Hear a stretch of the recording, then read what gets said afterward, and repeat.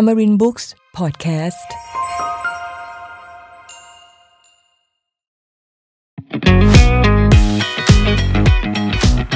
ทดลองฟังกับ Amarin Books Podcast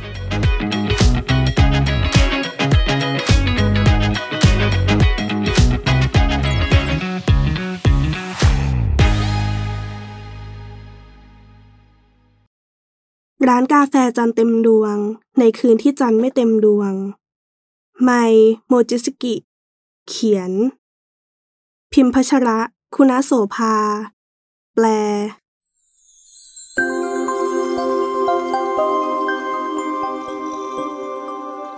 ร้านกาแฟจันเต็มดวง ไม่มีทำเลที่ตั้งแน่นอน บางครั้งปรากฏกลางย่านร้านค้าคุ้นตา บางครั้งเป็นสถานีรถไฟปลายทาง หรือริมแม่น้ำเงียบสงบ สับเปลี่ยนสถานที่ไปตามแต่ใจต้องการ ยิ่งไปกว่านั้น ร้านแห่งนี้ไม่สอบถามความต้องการของลูกค้า พวกเราขอนำเสนอเมนูของหวาน อาหาร และเครื่องดื่มเลิศรสให้แก่คุณเองมาสเตอร์แมวสามสีร่างใหญ่ตัวนั้น คงจะกำลังยิ้มแย้มอยู่ณที่ใดสักแห่งในค่ำคืนนี้หรือเปล่านะ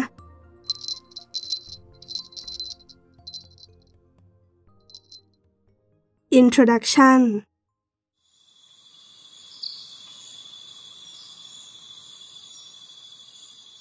จันครึ่งดวงลอยเด่นบนฟ้า จันเสี้ยวข้างขึ้น ทอแสงบนท้องนภา ค่ำคืนเช่นนี้เหมาะกับการเรียนรู้ จันครึ่งดวงจะค่อยๆ สะสมพลังงานจนเต็มดวง พลังของจันเซี่ยวซึ่งสาดส่องลงบนสรรพสิ่งนั้น มีบทบาทสำคัญในการส่งเสริมให้ผู้คนพัฒนาเติบโต ด้วยเหตุนั้น ร้านกาแฟจันเต็มดวง จึงจัดชุมนุมเสริมความรู้ขึ้น ในคืนจันทร์ครึ่งดวง รถตู้ของร้านกาแฟจันเต็มดวง ตั้งอยู่ใต้แสงจันทร์ ในลานกว้างของสวนสาธารณะแห่งใหญ่ พร้อมจุดไฟให้แสงละมุนตา มีโต๊ะตั้งเรียงอยู่เป็นทรงรูปพัด เหล่าสมาชิกมาชุมนุมล้อมมาสเตอร์แมวสามสีตัวใหญ่ เขาคือผู้ดูแลร้านแห่งนี้ และยังเป็นนักพยากรณ์อีกด้วย อาทิตย์ตกลับฟ้าจนท้องนภาถูกย้อมด้วยสีน้ำเงินเข้ม สายลมต้นฤดูหนาวพัดโชยมาทว่าบริเวณรอบคาเฟ่รถตู้มีแสงสว่างส่องเรื่อๆ ทั้งยังอบอุ่นจึงไม่เป็นอุปสรรคต่อการเรียนแต่อย่างใด ผู้ที่มารวมตัวกัน คือผู้ที่เชื่อมโยงกันในค่ำคืนนี้ แม้จะเป็นข้ารับใช้แห่งดวงดาว ทว่า พวกเขากลับไม่รู้เรื่องอื่นนอกจากตัวเอง บางครั้งบางคราวจึงได้มาเป็นศิษย์ของมาสเตอร์เช่นนี้เอง นักเรียนแต่ละคนมีโต๊ะของตัวเอง บนโต๊ะนั้นวางน้ำเลมอนแสงจันทร์เอาไว้ น้ำที่คั้นจากเลมอน ซึ่งอาบแสงจันทราอย่างเต็มเปี่ยมนั้น มีรสเปรี้ยวอมหวาน ดื่มแล้วแผ่ซ่านไปทั่วทั้งร่างกายและจิตใจ เหมาะสำหรับคนที่เหนื่อยล้าหลังเลิกงาน ส่วนนักเรียนที่กำลังจะเริ่มเรียน ก็ได้ความกระปรี้กระเปร่าจากมัน น้ำเลมอนนี่สีเหมือนผมฉันเลย ฉัน วีนัส จับผมตัวเองพลางหัวเราะฮิฮิ หลังจากดื่มน้ำเลมอนแล้วก็ยกมือข้างหนึ่งเอ่ยถามมาสเตอร์ มาสเตอร์ ฉันมีคำถามค่ะ ว่ามาสิวีนัสทั้งที่ยุคสมัยเปลี่ยนผ่านจากยุคสมัยกลุ่มดาวปลาคู่ มาเป็นยุคสมัยกลุ่มดาวคนแบกหม้อน้ำตั้งแต่ปีคศ 2000 แล้ว แต่ทำไมถึงเพิ่งจะเกิดการเปลี่ยนแปลงอย่างรุนแรงในปีคศ 2020 ล่ะคะ มาสเตอร์พยักหน้ารับ แล้วกวาดตามองทุกคน มีใครตอบคำถามของวีได้บ้าง ทันใดนั้นเด็กหนุ่มผมแดงก็เท้าโต๊ะผุดลุกขึ้น ยุคสมัยกลุ่มดาวปลาคู่ สิ้นสุดลงราวปีคศ2000 จากนั้นมาก็เปลี่ยนเข้าสู่ยุคสมัยกลุ่มดาวคนแบกหม้อน้ำแต่ที่กลิ่นอายของยุคสมัยกลุ่มดาวปลาคู่ยังถูกจุดลังไว้ เป็นเพราะยุคสมัยแห่งธาตุดินยังคงดำรงอยู่ จนเมื่อ 20-30 ปีที่ผ่านมาผู้ในชัดเจนคือในเดือนธันวาคมของปีคศ 2020 ที่ผ่านมานี้ ยุคสมัยแห่งธาตุดินได้จบลง และเข้าสู่ยุคสมัยแห่งธาตุลม เหตุการณ์ต่างๆ ในปีคศ 2020 จึงเป็นผลพวงจากการเปลี่ยนยุคนั่นเอง เมื่อกล่าวจบ เขาก็นั่งลง ชื่อของเขาคือ มาสใบหน้าองอาจ เส้นผมสีแดงเงาวับราวกับเปลวเพลิง ดวงตาก็เป็นสีเดียวกัน มาคุงใฝ่เรียนผิดคาดนะเนี่ย คนที่พึมพำออกมาคือเด็กหนุ่มผมสีเงิน Mercury รูปโฉมอันงดงามของเขาเป็นที่กล่าวขานกันไม่น้อย รูปลักษณ์ภายนอกอาจมองว่าเป็นชายหรือหญิงก็ได้ เรียกให้เต็มๆสิ เรียกมาก็คล้ายกับชื่อนายไม่ใช่หรือไง เด็กหนุ่มผมแดงจ้องเขม่น เมอร์คิวรี จึงหัวเราะและตอบว่า ก็จริง มาสเตอร์แมวสามสีอมยิ้ม มองทั้งสองโต้ตอบกันแล้วหัวเราะ มาสคุงพูดถูกแล้วล่ะ เขาดึงบทสนทนากลับมาเรื่องเดิม ใช่แล้วครับ นับตั้งแต่ศตวรรษที่ 19 เป็นต้นมา โลกนี้อยู่ในยุคสมัยแห่งธาตุดินมาเป็นเวลานานมากกว่า 200 ปี ฉันงงกว่าเดิม ชักจะนิ้วหน้า ยุคสมัยกลุ่มดาวปลาคู่ เริ่มต้นหลังคริสตกาลต่อเนื่องเรื่อยมาจนถึงประมาณปีคศ 2000 สรุปว่าราว 2,000 ปีที่ผ่านมานี้ คือยุคสมัยกลุ่มดาวปลาคู่ ถูกไหม แล้วยุคสมัยแห่งธาตุดินหรือธาตุลม นี่คืออะไรหรอคะ ยิ่งถามก็ยิ่งงงเข้าไปใหญ่ เมอร์คิวรีที่อยู่ข้างๆ มองฉันพลางอ้าปากหวอ เอ นี่เธอไม่เข้าใจตั้งแต่ตรงนั้นเลยเหรอ ทั้งที่ให้คำแนะนำกับลูกค้าแบบมั่นอกมั่นใจมาตลอดเนี่ยนะ ถ้าเรื่องวงล้อจักรราศีน่ะพอเข้าใจ อย่างจุดเด่นของ house หรือดาวเคราะห์ต่างๆน่ะ อีกอย่างหนึง่งว่าไงดีล่ะ บางทีก็เหมือนมีพลังอันยิ่งใหญ่ชี้นำให้พูดออกไป จะว่าไปก็คงทำนองเดียวกับมิโกะละมั้ง แปลว่า ใช้เซนส์เหรอ ไม่ใช่เซนส์สักหน่อย ฉันสื่อสารเจตจำนงของจักรวาลต่างหาก ฉันตอบกลับไปเสียงแข็ง แต่กลับเป็นฝ่ายรู้สึกกระอักกระอ่วนเองจนต้องทำตัวรีบ เมอร์คิวรีตอบว่าครับครับ แล้วถอนหายใจ เป็นเด็กที่แก่แดดนิดๆ ไม่เปลี่ยนเลย มาสจ้องเมอร์คิวรีทันใด วีนัสคือดาวแห่งความรู้สึกนะ หัดเคารพเสียบ้าง เมอร์คิวรีตอบว่าครับอย่างไม่ใส่ใจ มาสเตอร์กล่าวว่ากลับเข้าเรื่องกันนะ แล้วหยิบนาฬิกาพกออกมา ในยามปกติมันคือนาฬิกาธรรมดา แต่ในบางเวลามันก็ทำสิ่งพิเศษได้ ภาพกลุ่มดาวปลาคู่ และกลุ่มดาวคนแบกหม้อน้ำถูกฉายขึ้นบนนภาราตรี อย่างที่มาสคุงพูด ช่วง 2,000 ปีที่ผ่านมา จนถึงปีคศ 2000 โลกอยู่ในยุคสมัยกลุ่มดาวปลาคู่และตอนนี้ก็ได้เข้าสู่ยุคสมัยกลุ่มดาวคนแบกหม้อน้ำแล้ว แต่ยุคสมัยแห่งราศีนี้ แบ่งโดยยึดจุดราตรีเสมอภาค จุดนั้น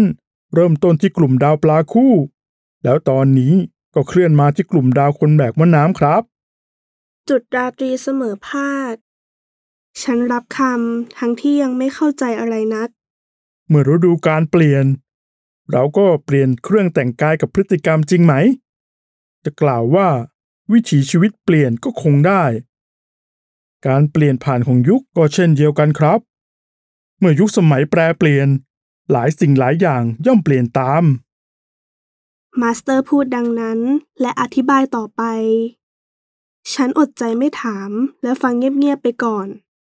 คำอธิบายของมาสเตอร์ได้ความดังนี้ ในช่วงยุคสมัยแห่งกลุ่มดาวปลาคู่ที่ผ่านมาธาตุทั้งสี่อันได้แก่ ไฟ ดิน ลม และน้ำก็ผันเปลี่ยนไปธาตุไฟคือช่วงอารัมพบท กลุ่มดาวในสังกัดประกอบด้วย กลุ่มดาวแกะ กลุ่มดาวสิงโต และกลุ่มดาวคนยิงธนูธาตุดิน คือช่วงดำเนินเรื่อง ประกอบด้วย กลุ่มดาววัว กลุ่มดาวหญิงสาว และกลุ่มดาวแพะทะเลธาตุลม คือช่วงพลิกผัน ประกอบด้วย กลุ่มดาวคนคู่ กลุ่มดาวคันช่าง และกลุ่มดาวคนแบกหม้อน้ำธาตุน้ำคือช่วงสรุป ประกอบด้วย กลุ่มดาวปู กลุ่มดาวแมงป่อง และกลุ่มดาวปลาคู่ การผันแปรของธาตุเหล่านี้เรียกว่า mutation ซึ่งจะเกิดขึ้นครั้งหนึ่งในทุกๆ 200 ปี ส่วนเรื่องที่ว่าเหตุการณ์นี้เกิดขึ้นได้อย่างไรนั้น มาสเตอร์ก้าวฉับๆ ไปหาซาทูร์นุส ชายวัยกลางคนผู้สวมชุดสูทอย่างเท่ กับจูปิเตอร์ หญิงวัยกลางคนร่างท้วม ผู้ดูน่าจะใจดี แล้ววางมือลงบนไหล่ของทั้งสอง ดาวเสาร์กับดาวพฤหัสบดี คือดาวที่มีพลัง ซึ่งส่งผลต่อสังคมอย่างแรงกล้า ดาวสองดวงนี้จะซ้อนทับกันทุกๆ 20 ปี ซึ่งเราเรียกว่า Great Conjunction ครับคำว่า conjunction ในเชิงโหราศาสตร์ หมายถึงการผสานรวมกัน ฉันส่งเสียงตอบรับพลางจดคำว่า Great Conjunction ลงในสมุด หมายความว่าซาทูร์นกับจูปิเตอร์ จะแนบสนิทชิดกันทุกๆ 20 ปีสินะคะ Saturnus นิ้วหน้าบ่นว่า วิธีพูดแบบนั้นมัน ฝ่ายจูปิเตอร์ที่อยู่ข้างๆ พูดว่า ไม่เห็นเป็นไรเลย ด้วยท่าทางสนุกสนาน ใช่แล้วครับ มาสเตอร์พยักหน้า ดาวเสาร์กับดาวพฤหัสบดี จะโคจรมาทับกันทุก 20 ปี และในทุกๆ 200 ปี ตำแหน่งที่ทั้งสองมาบรรจบกันก็จะเคลื่อนไป อย่างเช่น เปลี่ยนจากธาตุไฟไปเป็นธาตุดินแทน หากพูดถึงช่วงปัจจุบันเมื่อราวปีคศ 1990 จนถึงปีคศ 2020 นั้น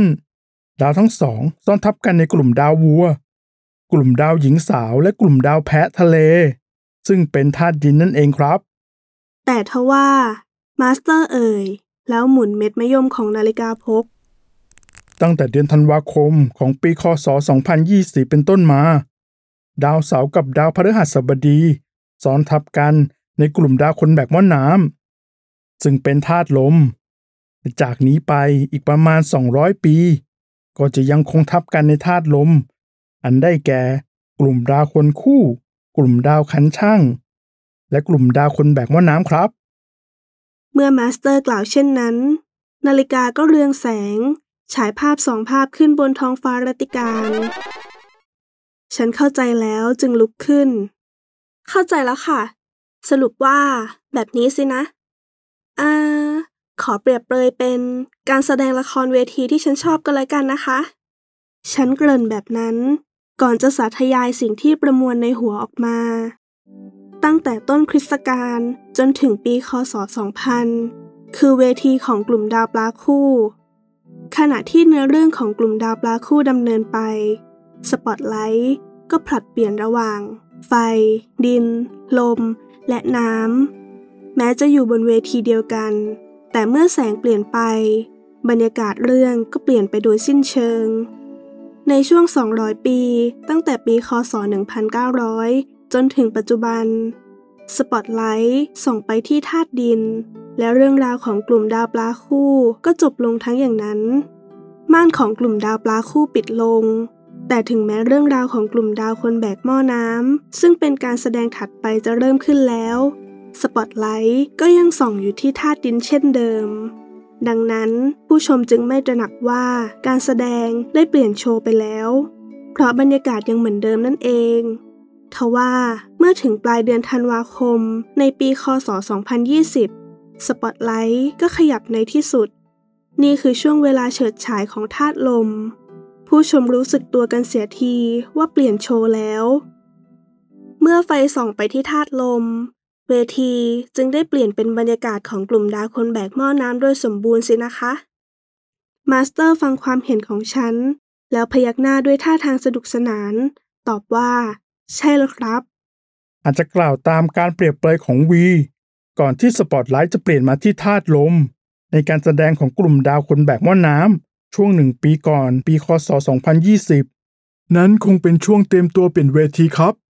เมื่อคุณลักษณะของยุคสมัยเปลี่ยนไปโครงสร้างสังคมย่อมเปลี่ยนตาม โดยเหตุนี้จึงเกิดเหตุการณ์ที่ฉีกกระชากสามัญสำนึกที่ผ่านมาจนย่อยยับครั้งแล้วครั้งเล่า โลกจะยังคงสับสนวุ่นวายในช่วงหลายปีหลังจากยุคสมัยเปลี่ยนผ่าน พวกเราผู้ได้รับภารกิจจากดวงดาว จึงควรเป็นแสงสว่างที่ส่องนำทางให้กับผู้ที่หลงทาง แม้เพียงเล็กน้อยก็ยังดีครับ พวกเราพยักหน้ากันเงียบเอาละอีกไม่นานจะถึงเดือนธันวาคมแล้ว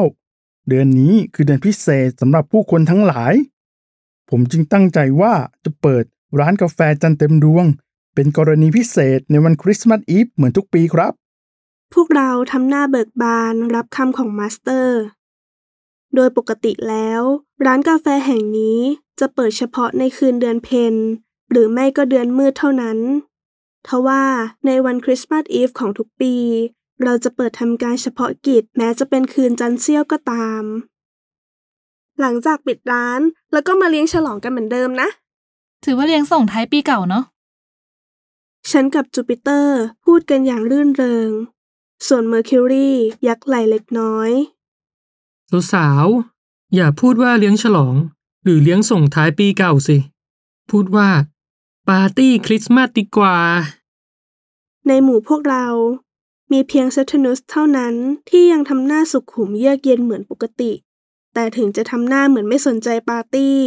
เขาก็เป็นคนเคร่งเรื่องพิธีรีตอง จึงมาเข้าร่วมงานทุกปีไม่ขาด มาสเตอร์มองพวกเราพลางหยีตา ท่าทางมีความสุข อีกเรื่องครับ ในที่สุดเรื่องที่เขาและเธอคนนั้นเคยขอไว้ก็น่าจะได้เป็นจริงในสิ้นปีนี้แล้ว